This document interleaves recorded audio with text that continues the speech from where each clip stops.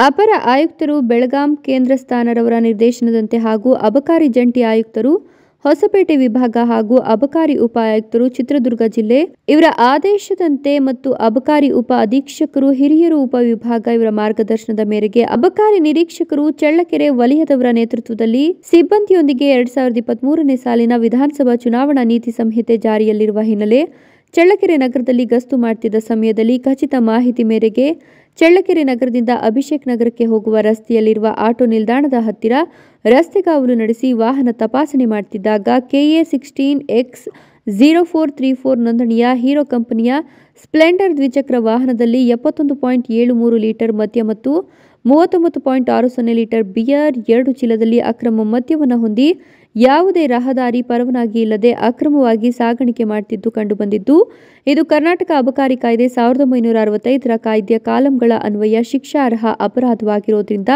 ಮೇಲೆ ತಿಳಿಸಿರುವ ವಾಹನ ಮತ್ತು ಮದ್ಯವನ್ನು ಪಂಚನಾಮೆ ಜರುಗಿಸಿ ಜಪ್ತುಪಡಿಸಿಕೊಳ್ಳಲಾಯಿತು. ಈ ಮೂಲಕ ಘೋರ ಪ್ರಕರಣ ದಾಖಲಿಸಲಾಯಿತು. ವಾಹನ ಸವಾರ ಪರಾರಿಯಾಗಿದ್ದು, ವಾಹನ ಮಾಲೀಕನನ್ನ ತನಿಖೆ ಸಮಯದಲ್ಲಿ ಪತ್ತೆ ಹಚ್ಚಲಾಗುವುದು.